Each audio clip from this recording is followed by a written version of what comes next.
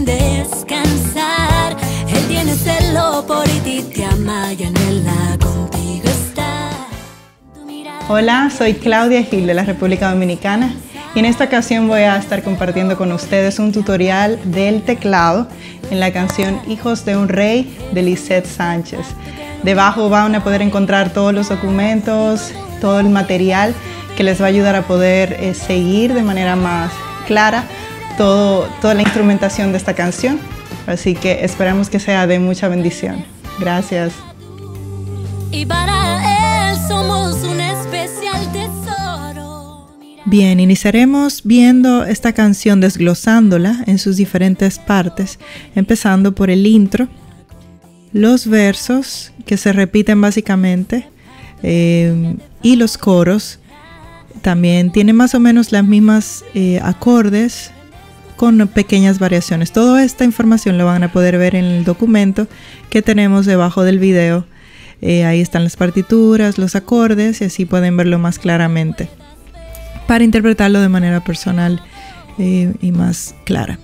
Entonces veremos primero en el intro los acordes, que tiene tres acordes que se repiten dos veces, empezando por re menor séptima.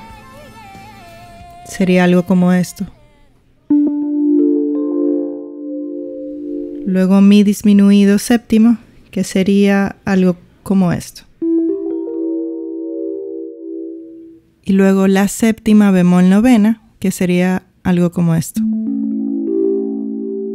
Entonces yo voy a hacer varias inversiones en estos acordes. No los voy a tocar completos para así poder este, manejar un poquito más el desplazamiento del teclado, hacer lo menor posible, así poder tocarlo de manera eh, más efectiva. Las notas que falten, por ejemplo, en los acordes, yo lo puedo completar con la mano izquierda o hacer simplemente algunas partes de cada acorde con la mano derecha. Entonces, este sería re menor séptima. Este do, en vez de hacerlo agudo acá, lo voy a hacer más grave. El mi solamente voy a hacer esto. Y del la voy a hacer esto. Entonces, con la mano izquierda podemos hacer el re, el mi y el la. Para complementar los acordes, sería algo como esto.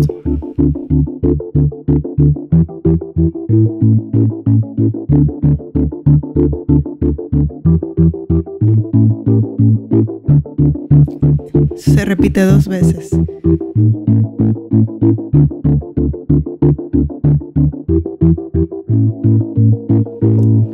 Bien, entonces lo veremos ahora con la música. Ese sería el intro.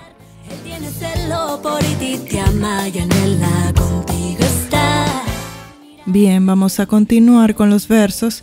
Los versos tienen siete acordes, entre ellos tres se repiten del intro.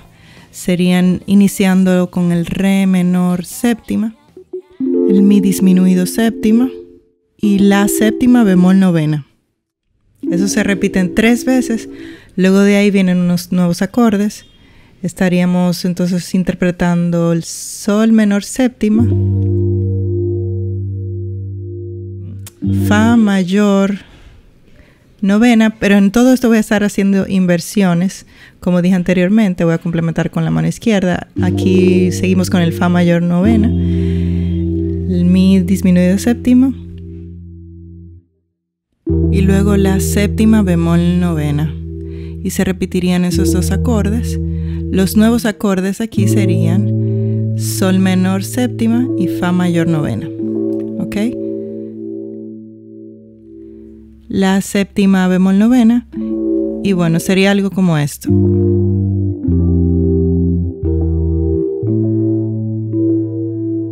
Listo, serían tres veces esa parte y estaríamos tocando algo como esto.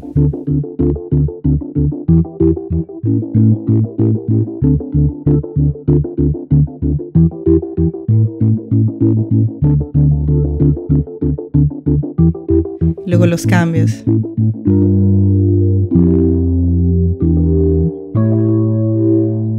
Muy bien.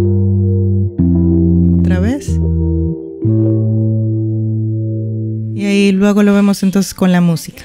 Estos serían los versos. Descansar, él tiene celo por ti, te ama y anhela contigo estar. Tu mirada Ahora nos vamos a los coros que lo dividí en dos partes. Eh, pero básicamente seguimos con la misma, los mismos acordes, las mismas progresiones, eh, con algunas variaciones pequeñas en, en todo. Eh, igual haciendo algunas inversiones de cada acorde. Entonces, en el coro iniciamos con el primer acorde. Re menor. La séptima. Luego un sol menor séptima. Fa mayor séptima, en este caso. Continuamos con la séptima bemol novena.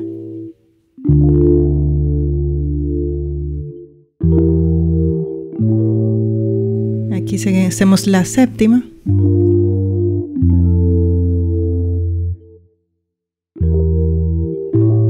La séptima. Vamos a interpretarlo para que tengamos una idea más clara de cómo se sería. Tapeando sería solo los acordes, algo así.